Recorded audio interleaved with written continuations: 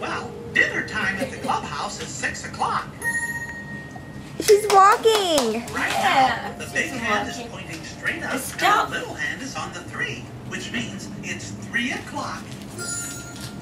Come on. So we only have one, Come on. two, Come on. hours to find the cuckoo bird.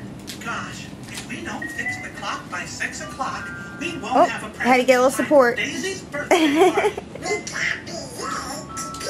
Good job, Adora. Good job. Will you help us find the cuckoo All right. in time to give Daisy Go the for clock for her Frappuccino. birthday? I know she knows what she wants. She get what she wants. But first, let's get some noodles to help us. Come on, everybody. I don't think you have black. Oscar ready, Oscar high, Oscar low. Oscar ready, Oscar Here it goes. Are you gonna turn the light on? You don't know what to do, do you?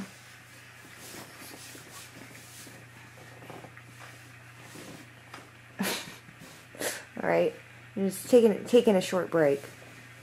Are you taking a break? Okay, making a ride out of it. I thought you were gonna turn turn it on for me. Are you in baby jail? Are you in baby jail? You're so beautiful. Look at your curls.